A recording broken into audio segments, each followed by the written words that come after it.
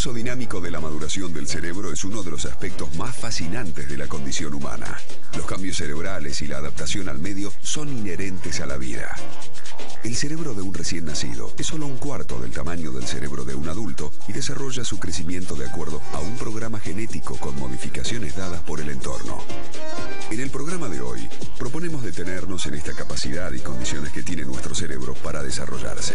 Preguntarnos sobre el proceso que transforma un cerebro de un niño en un cerebro maduro es uno de los grandes desafíos de las neurociencias. ¿De qué manera se desarrolla nuestro cerebro? ¿Cuáles son las fases más importantes durante este proceso? ¿Cuáles partes se desarrollan en primer lugar y cuáles últimas? ¿A qué edad se termina de desarrollar completamente nuestro sistema nervioso? ¿Cómo influyen en el proceso de desarrollo cerebral las cuestiones sociales? Estas son algunas de las preguntas que nos proponemos abordar y desarrollar a lo largo de este programa.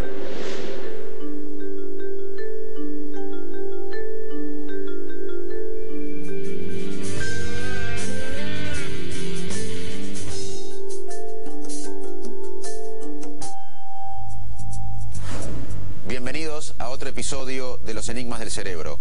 Hoy evaluaremos cómo el cerebro se desarrolla desde el útero de la madre hasta la edad adulta. Es un proceso maravilloso en donde se conjuga la genética y la interacción con el entorno. ¿Qué pasa en el cerebro de un bebé en el primer día de su vida?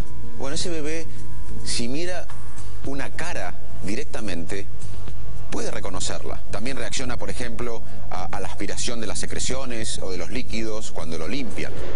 En los próximos meses, el cerebro de ese bebé va a experimentar un crecimiento masivo de neuronas. En realidad, durante toda la infancia, el crecimiento de las neuronas es muy rápido y masivo. Y esto es crítico porque la experiencia luego va a guiar qué conexiones se van a preservar y qué conexiones neuronales se van a eliminar. Este es un juego maravilloso entre la genética, la naturaleza y el entorno ambiental. El entorno ambiental es clave. Muchos estudios que demuestran que un cerebro estimulado genera más conexiones, más plasticidad cerebral, capacidad de adaptarse de las neuronas. Un ejemplo, si por alguna enfermedad se ocluye un ojo de un eh, bebé o un recién nacido, el área occipital posterior que representa la información visual no se va a desarrollar. Las neuronas son células en el sistema nervioso que constituyen su unidad anatómica y funcional. En el cerebro adulto hay 100 billones de neuronas y hay muchísimos trillones de conexiones. Cada neurona puede tener hasta 10.000 conexiones con otras neuronas. Las conexiones neuronales y el cerebro no madura hasta la segunda o tercera década de vida. Las primeras áreas cerebrales en madurar son las áreas más básicas relacionadas con la información visual o con el movimiento o con el control motor de los movimientos. Mucho del potencial y de la vulnerabilidad del cerebro humano ocurre en las dos primeras décadas toman importancia y se desarrollan como el lenguaje, la orientación espacial.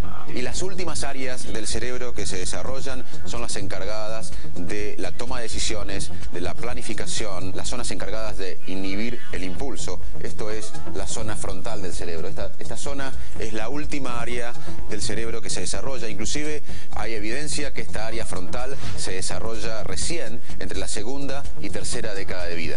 No, no lo permitiré. Vámonos. Eh, ¿Pero a dónde? Al país de nunca jamás. Nunca jamás. Ahí nunca crecerás. Ah, Peter, ha de ser maravilloso.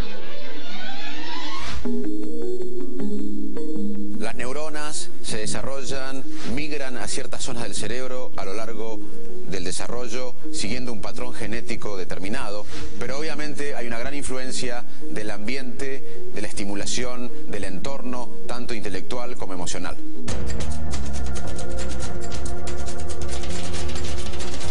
Durante la adolescencia hay una gran interacción y lucha entre áreas emocionales y más racionales, facilitando la regulación emocional. El desarrollo del cerebro se va moldeando de acuerdo a un patrón dinámico con las exigencias o los estímulos del entorno y no un patrón lineal. Es importante remarcar que previamente hay muchas conexiones que se generan que luego son eliminadas de acuerdo a la experiencia. Imaginemos a un violinista. El violinista mueve los dedos de la mano izquierda para utilizar el violín. El área del cerebro encargada del control de los dedos se agranda, hay más conexiones.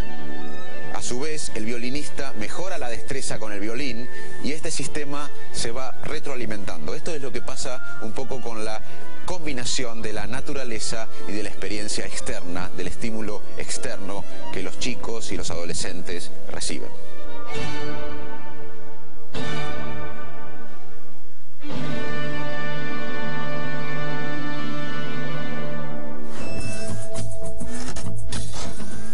Del cerebro, todas las semanas entrevistamos para cada tema a científicos de los más reconocidos internacionalmente. Hoy es un placer presentar a Marta Farad, una persona que estudió el desarrollo del cerebro, pero también un aspecto muy importante, cómo la pobreza influye en el desarrollo cerebral. Marta, ¿cómo nos resumirías cómo es el desarrollo cerebral a lo largo de la vida? Brain development is very interesting because um, it has some very unexpected uh, aspects to it.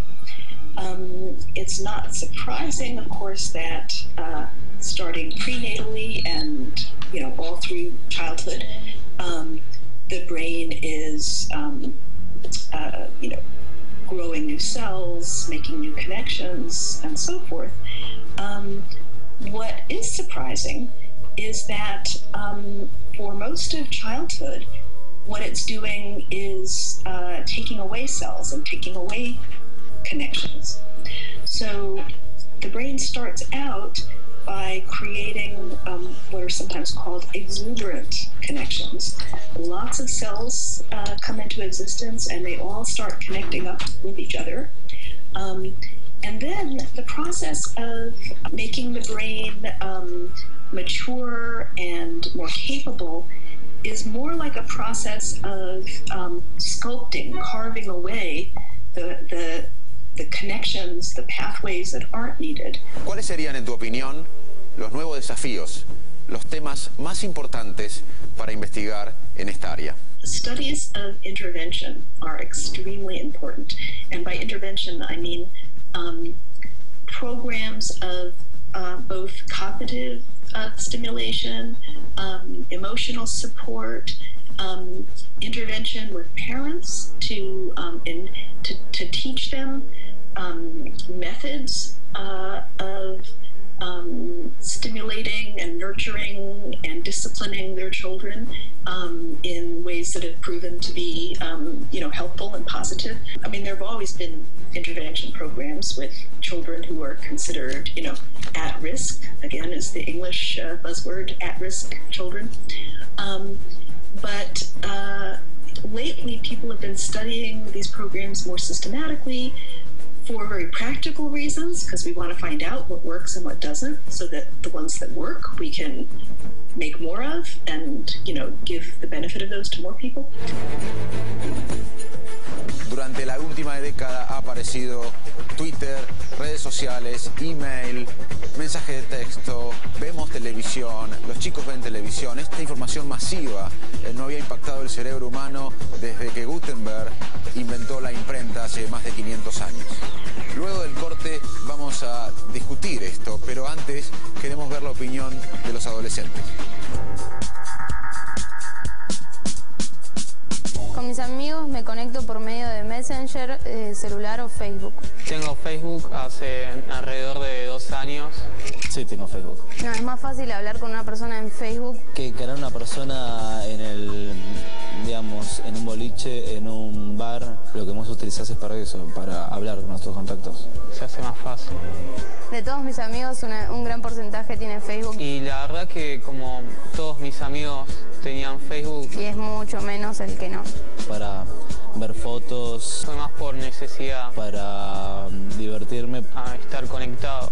para tener contacto. Y al Facebook le dedico mucho tiempo. Yo le dedico alrededor de 8 horas más o menos de... 6 horas. De 8 o 9 horas más o menos dedico al Facebook. Si es un día libre, dedico eh, más horas.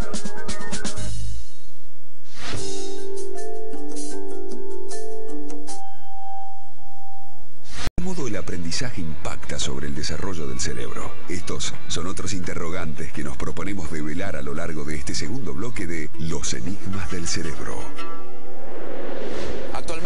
Los adolescentes se enfrentan con demandas múltiples de tecnología, internet, redes sociales, televisión. Muchos investigadores están atentos a este nuevo fenómeno y miran con cierta preocupación lo que está pasando, ya que, como dijimos antes, el cerebro adolescente es un cerebro en maduración y esta masiva información que se les brinda quizás se hace en desmedro de procesos intelectuales importantísimos y críticos para la vida como el razonamiento, como la planificación y como cierta sabiduría. El Messenger, digamos, lo utilizo igual que el Facebook. El celular lo tuve a los 11 más o menos. Uso el celular más para cosas necesarias. Te conectás y ya podés hablar, podés arreglar, podés expresar lo que vos quieras. Ya es la costumbre de agarrar el teléfono y mandar por cualquier cosa. La verdad no podría pasar en este momento no, no tener un contacto con una red social. Redes sociales, internet, mensajes de texto. ¿Cómo afecta esto a nuestro cerebro? Bueno, es diferente si esto eh, pasa en un cerebro desarrollado luego de los 30 años o en un cerebro en desarrollo. Cuando el cerebro está desarrollado luego de los 30 años, esto genera estrés, el multitasking o tareas múltiples, el acceso a muchísima información y el estrés que esto produce puede llevar en un cerebro adulto a ansiedad y depresión. Pero en los niños o adolescentes esto puede impactar no solo en el aspecto anímico, estrés, ansiedad, depresión, sino en cómo el cerebro se va Y muchos padres preguntan, ¿qué podemos hacer nosotros durante el desarrollo del cerebro de nuestros hijos? La respuesta es clara desde las neurociencias. Uno aprende con el ejemplo. El cerebro humano aprende con el ejemplo. El ejemplo modula las conexiones. Y uno no solo produce un ejemplo en un niño en un hijo cuando va a trabajar a la mañana o cuando regresa a la noche eh, y está con su hijo, sino cómo uno trata a la pareja, cómo uno enfrenta las emociones, cómo uno enfrenta los miedos. Permanentemente los padres estamos educando, estamos actuando con el ejemplo de nuestros niños. Y esto impacta cómo el cerebro de ellos se va modulando. En el cerebro adolescente, las áreas involucradas en la inhibición del impulso, en la toma de decisiones, en la planificación, en la flexibilidad cognitiva o intelectual, están en proceso de maduración. También es interesante destacar que investigaciones mostraron que el área de recompensa del cerebro es más activo en la adolescencia que en la edad adulta. Resumiendo estos hallazgos, uno podría decir y concluir que el cerebro adolescente es un cerebro que está madurando para la inhibición del riesgo y la impulsividad. Un aspecto importante de cómo las neurociencias abordan el tema del desarrollo cerebral es las implicancias que va a tener esta investigación o estas investigaciones en la educación. En un aula está la maestra que tiene cerebro y además varios alumnos que todos tienen cerebro. ¿Cómo no vamos a usar los datos de las neurociencias modernas para mejorar el aprendizaje, para detectar y mejorar aquellos niños con problemas de aprendizaje y también para abordar problemas que hoy están irresueltos, como la toma de decisiones, como la inteligencia, como cuándo exigir y como cuándo no, como el impacto emocional en el aprendizaje, cómo impacta la motivación en el aprendizaje y otros temas que seguramente se van a lograr no solo de las neurociencias, sino trabajando conjuntamente educadores y neurocientíficos. Estoy seguro que en los próximos años la educación se va a beneficiar de los avances en las neurociencias en vez de ignorar este campo. Es en la interacción de diferentes disciplinas donde se mejora el concepto de aprender.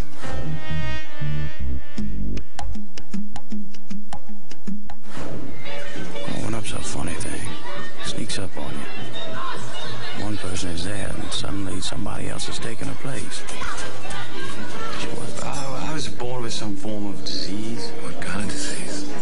I was born old. I'm sorry. My hair had very little gray and grew like weeds. My sense of smell was keener, my hearing more acute. I could walk further and faster.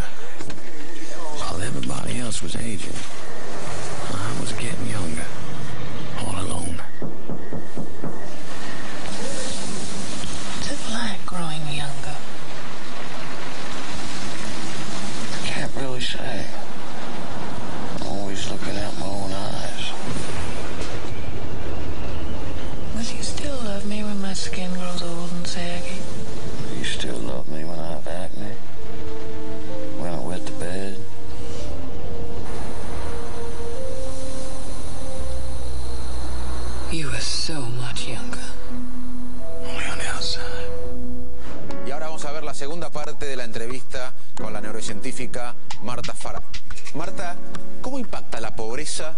en el desarrollo del cerebro? When children grow up in poverty, it does have an effect on their brain development. Um, it has a bad effect on their brain development. Not necessarily irreversible, but it certainly is not a good way to start uh, the development of the brain. Parts of it have to do with the obvious things of poor nutrition, um, exposure to environmental toxins, um, and you know poor prenatal care, things like that. What carves away the unnecessary pathways and and in that way just leaves the mature uh, pathways that are needed for brain development is experience. So if um, if kids are not getting uh, stimulating intellectual experience, what that does is it doesn't it, it, it doesn't tell their brains which pathways they need to um, develop and which ones they need to let go of, in effect. Marta, un punto importantísimo que mencionaste es que este efecto de la pobreza en el desarrollo del cerebro muchas veces no es irreversible.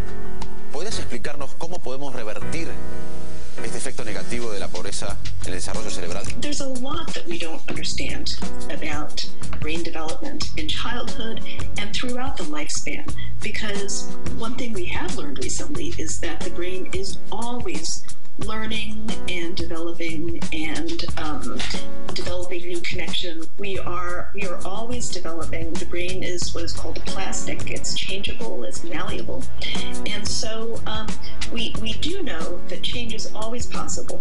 What we don't know is um, for early deprivation, um, to what degree it is um, reversible. Um, I think it's safe to say that uh, there's always um, there's always hope for improvement. Um, uh, a child with an extremely deprived, you know, cognitively and emotionally deprived early childhood can benefit tremendously from um, the right kinds of stimulating and supportive experiences later in life.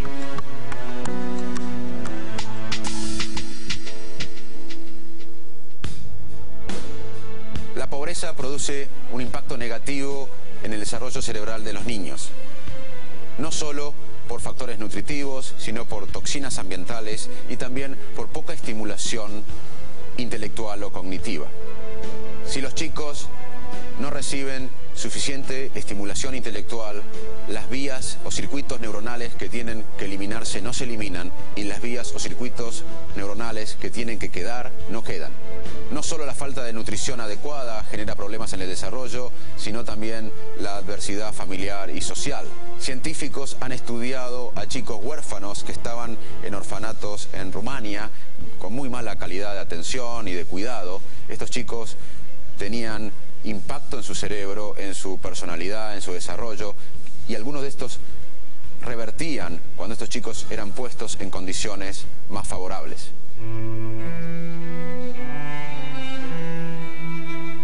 La cruel realidad que se vivió en los orfanatos de Rumania y la reversión de esos efectos frente a un contexto favorable permitió a los investigadores en neurociencias revelar aspectos cruciales sobre el desarrollo cerebral. Hacia fines de la década del 80 se estipula que entre 65.000 y 100.000 niños vivían en orfanatos distribuidos por la región rumana. Los niños pasaban hasta 20 horas por día sin atención.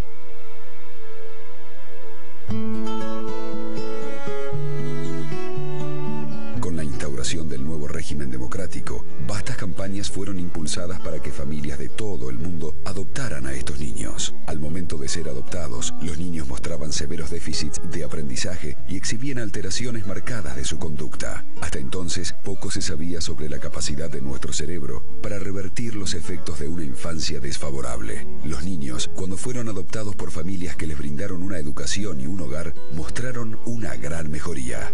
Aprendimos así que la intervención puede revertir los efectos iniciales desfavorables. El cerebro resulta lo suficientemente hábil y flexible para adaptarse a un destino más feliz.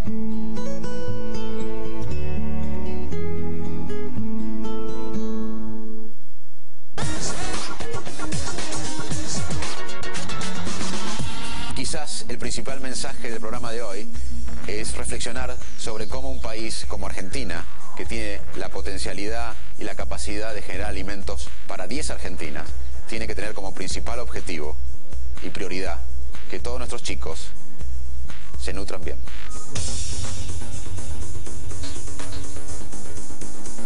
¿Qué aprendimos en el programa de hoy? Primero, que las neuronas durante el desarrollo crecen rápidamente y luego muchas neuronas y circuitos se eliminan y muchos quedan. Esto es un juego entre el programa genético de uno, entre la naturaleza y entre el entorno social, intelectual y nutritivo. El cerebro sigue madurando hasta la segunda y tercera década de la vida. De hecho, las áreas involucradas en la toma de decisiones, en la planificación, en la inhibición de los impulsos, recién se desarrollan entre la segunda y tercera década de vida. En la adolescencia también hay una maduración de las conexiones entre los circuitos emocionales y los circuitos racionales. Ciertas áreas del cerebro humano permanentemente generan nuevas neuronas hasta el último día de vida. Las neurociencias ofrecen nuevas herramientas para mejorar el rendimiento en la educación. La educación y las neurociencias deben trabajar juntos en el futuro para mejorar la calidad de la educación. La pobreza impacta negativamente en el desarrollo cerebral. Combatir esto no solo va a salvar la vida de muchos niños, sino también el futuro de un país. Y en el próximo programa vamos a desarrollar un tema muy importante, no solo desde el aspecto científico o médico, sino del impacto político y económico para un país. Si no encontramos una cura para la enfermedad de Alzheimer, esta será nuestra próxima epidemia. Y algunos investigadores ya piensan que la epidemia ha llegado. Espero que nos puedan seguir acompañando por este viaje maravilloso a través del cerebro humano. Nos vemos la semana próxima.